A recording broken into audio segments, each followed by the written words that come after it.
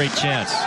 Slithers his way out. Turnaround shot. He scores! Rocco Grimaldi! It's the movie Rudy, come to life. There might have been maybe two or three kids I ever played with that were close to me in size in terms of being the smallest. But other than that, I'm, uh, I'm kind of used to playing this role. Standing 5'6 and weighing around 170 pounds, Rocco Grimaldi doesn't exactly spell hockey player. I just love it. I just it's just so much fun, and obviously, you know, God put a passion inside of me for it. So I'm definitely gonna, you know, go at it with, with everything that I got, and you know, do the best I can.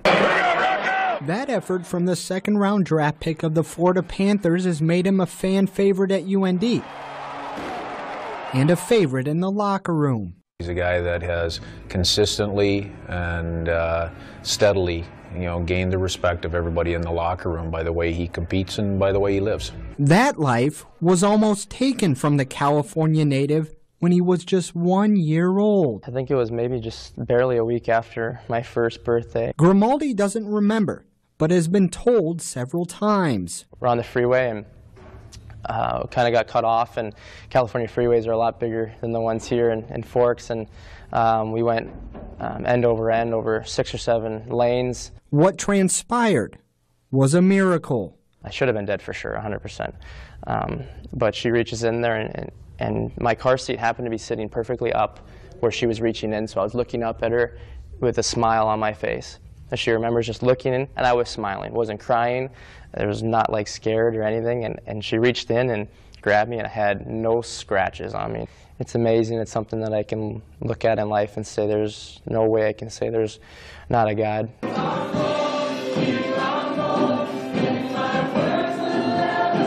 And that's why you can find Grimaldi here at church every Sunday.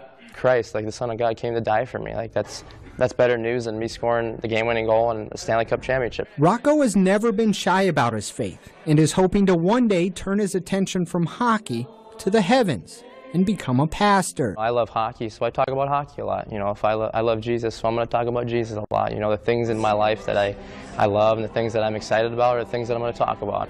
When I heard that Rocco was looking to uh, head into the ministry after hockey's all said and done, that just really excited me because um, I can see him really um, doing an incredible job at that. He's very personable, and so just loves to talk to people. And um, obviously, his passion that you see on the ice is so necessary as a pastor too. He's gonna be like Rocco, you know. He's gonna be, he's gonna be that guy. The game winner. Like Meyer, Grimaldi's grace is echoed by his teammates. Well, when he speaks, a lot of people listen to him, and uh, he uh, he practices what he preaches, and I think that's that's good for a leader, and that definitely translates to being a pastor. The highly touted freshman walks and fires.